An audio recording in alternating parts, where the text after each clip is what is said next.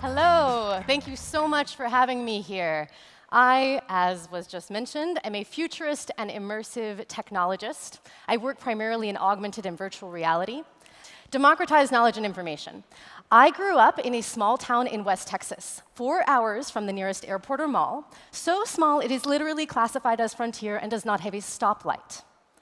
Today, I consult with Fortune 500 companies around the globe to help them bring the future of immersive computing into their business units. I am a VR AR faculty member at a think tank in Silicon Valley, Singularity University. I've been an executive in San Francisco bringing the new design paradigms of VR and AR to market, and I have helped to lead design thinking transformation globally for IBM. I know how hard that journey was. And I think our world will be a much better place if we can democratize access for more people. So I do my part to democratize information and knowledge. But enough about me. I want to know about you guys. Real quick, raise your hand if you work in healthcare, anything that touches healthcare. Raise your hand if you work in manufacturing. Raise your hand if you do anything with the military. Raise your hand if you work in entertainment or sports in any way. Raise your hand if you are doing software support for some company in any of these domains. OK. So all of these fields are going to be disrupted by this technology. Has anyone tried virtual, virtual reality? Who's tried it? Raise your hand. OK, so I'd say about half of us. Who's tried augmented reality? Maybe the HoloLens? A few less, maybe a third to a quarter. Those of you who've tried it, I want you to vote. If you loved it, raise the roof. If you hated it, your hands stay down. If you weren't quite sure, it's right here. Ready? On three. One, two, three, vote. All right, so we have some believers. We have some people who are not so sure. You have good reason to be not so sure. Why? It's expensive. The technology is still getting small enough to be portable and useful. You look kind of like an idiot when you wear those things on your face. There are a lot of reasons why we have not yet seen mass consumer adoption, but we're going to discuss what that future is going to look like. I want us to talk about why this technology is regularly cited as a top 10 trend in every analyst report Gartner, Forrester, IDC, Deloitte. I want us to talk about why every leading technology company is vying for technological leadership in this domain Google, Facebook, Intel, Microsoft, Adobe, what is this about? What makes this technology so potentially disruptive, so potentially valuable? And why should you care to deploy this tech? What kind of problems can it help you solve? Because this technology is going to be the immersive technology platform of our future. It's going to be the connective tissue of AI, robotics, all of these other technologies that you are charged to, to bring to your enterprises. So the first big value add is the ability to harness attention with augmented and virtual reality. We live in a world where we are swimming in a hyper-connected sea of data, and we know that power is very connected to your ability to access, deploy, model, and digest this information. So how do we navigate this hyper-connected ocean of data in the best possible way? Then we move to the storefront of our grandparents' time. More compact, still physicalized, now we move to the GUI of today, where every physical object can be abstracted, demonetized, democratized, digitized, and put in our phone. Alarm clock, it's in our phone. Calendar, it's in our phone. You guys remember when these were concrete objects, I know. So what happens when we do this? As information density increases, multitasking increases. New interaction paradigms have to be learned, which of course increases cognitive load. What does this mean for your daily experience? information overload, right? Yeah, I see nodding heads. OK, so how do you manage that? What is scarce in a world where information is rich?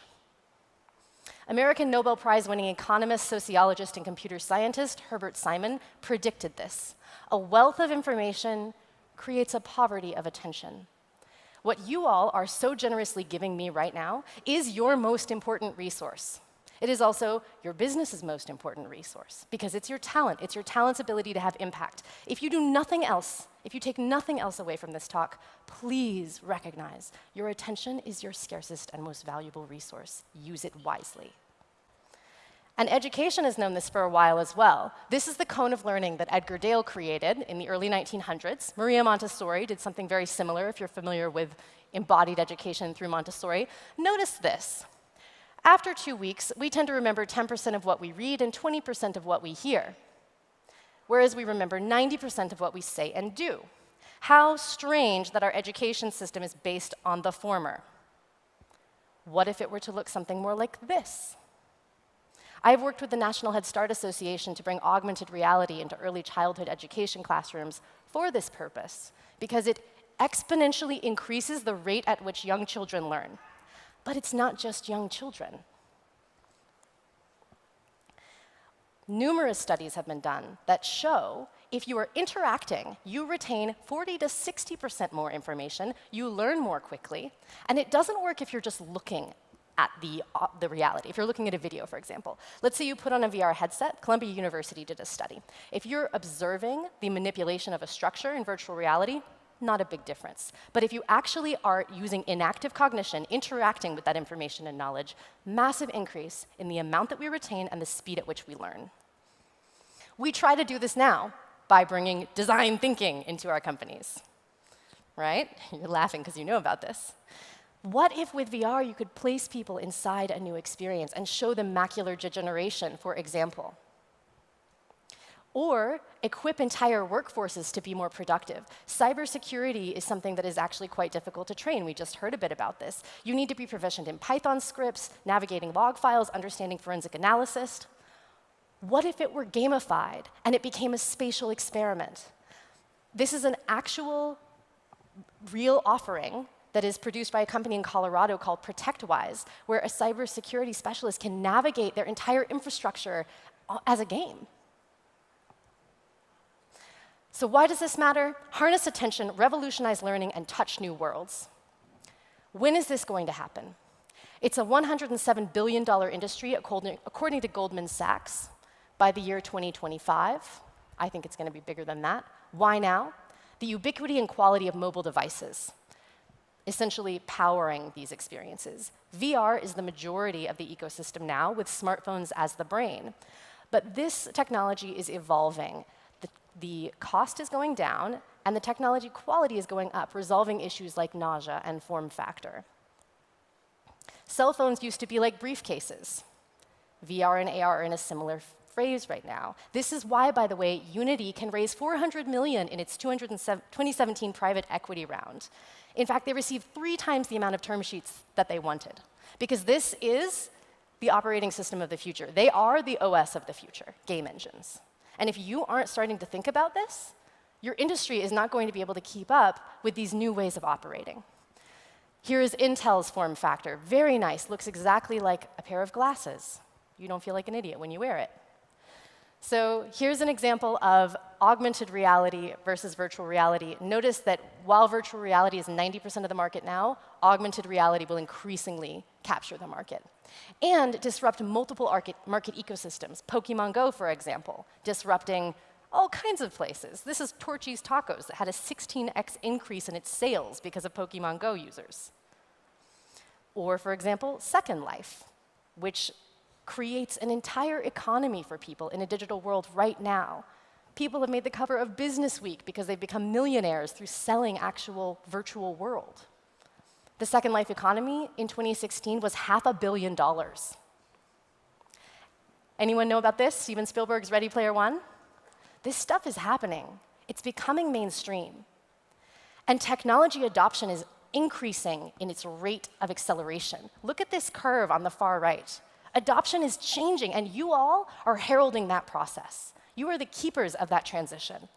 So, how do we, how do we deal with this? This is what technological advancement looks like these days. So, in order to lead, you need vision and courage, you need patience and unlearning, and you need to empower and connect. And this is an entire talk that we could give about network systems. The best way to predict the future is to invent it. So, this is the next computing paradigm. VR reigns now, AR is next. We'll have exponential use cases for AR as the technology proliferates, and VR too. So I'm going to run through some really quick use cases because we're super short on time. The total addressable market is actually about the problems you can solve. It's a tool. What can you use to not make this mistake? Please don't make this mistake. The gimmick is an issue, guys. Let's get past the gimmick.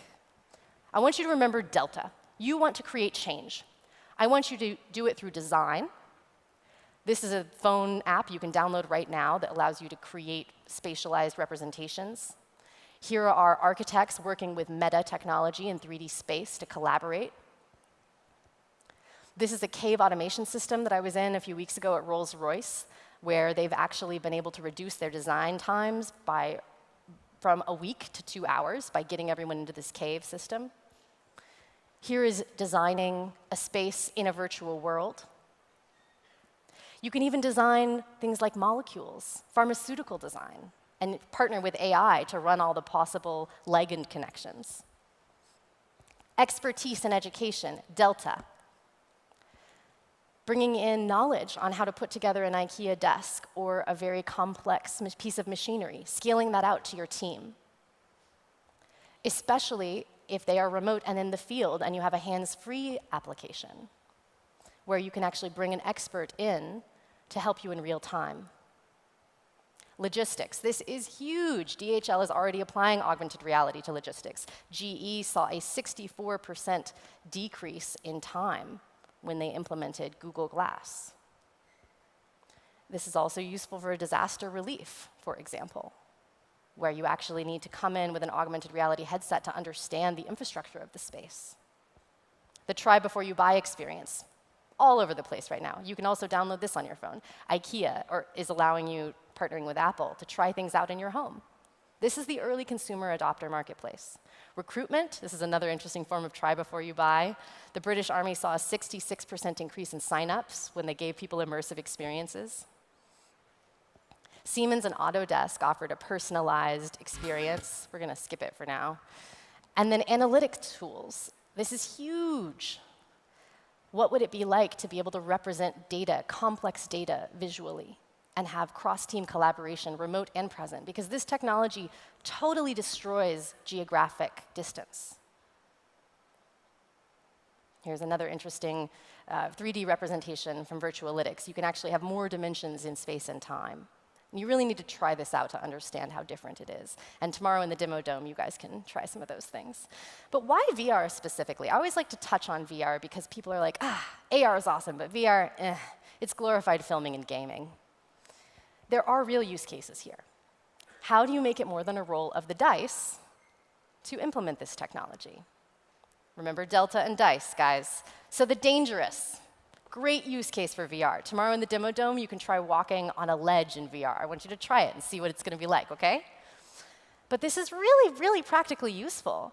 Think about training for interactive health and safety for an oil and gas company, which is what this is, mocked up in Unreal Game Engine.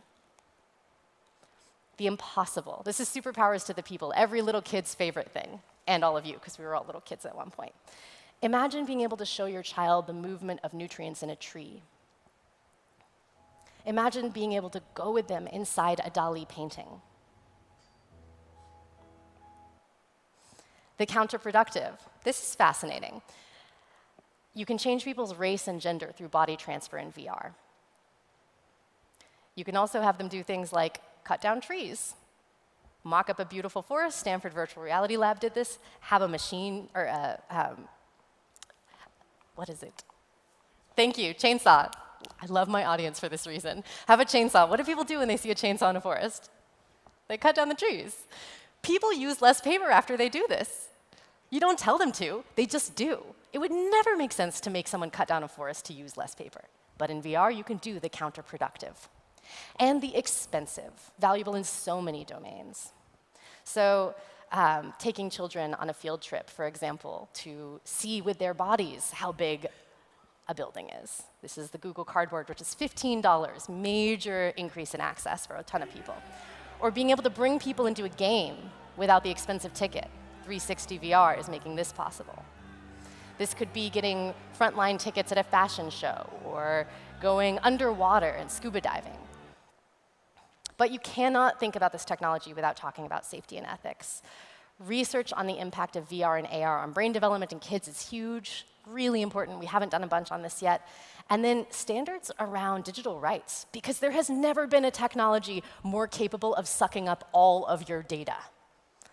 It'll know where your head is, positional tracking, eye tracking, especially when you're projecting light into the retina for augmented reality. It'll know your interaction paradigms. Think of user experience research for immersive worlds. It will know so much about you. We have to start thinking now so that we can build good products that serve our societies and make our societies better. So, recap the early VR AR use cases are design, expertise, try before you buy, and data capture. Remember DICE, and don't forget safety and ethics. Okay, to finish, I can't put you all in a VR headset. I wish I could. Go to the Demo Dome tomorrow. You can try Ventana for holograms. You can try the Ledge. But in the absence of that, I'm going to try to simulate the difference between immersive learning and the way that we currently share information and knowledge. The, the, the difference between now and the future of work. So this is one of my all-time favorite quotes. Anyone know who it's by? Oh, come on, one of the best futurists of all time, Buckminster Fuller. If you want to teach people a new way of thinking, don't bother trying to explain it to them. Give them a tool, the use of which will lead to new ways of thinking. That's what I think this technology is. But makes perfect sense, right? Yeah, you all got that. What do I mean? This is you. And the difference between what I just read and what you're viewing is the difference that new representations of knowledge can have on the way we share information, the way we model and deploy information, the way your children will learn, the way your workplaces can scale access to information and knowledge, even remotely. And so the question for you all is how are you going to have that vision and courage to actually try to implement these things, to create the future? So, what I would urge you all to do is to embrace that gray area between pragmatism and imagination. Because being an optimist without skepticism makes you naive.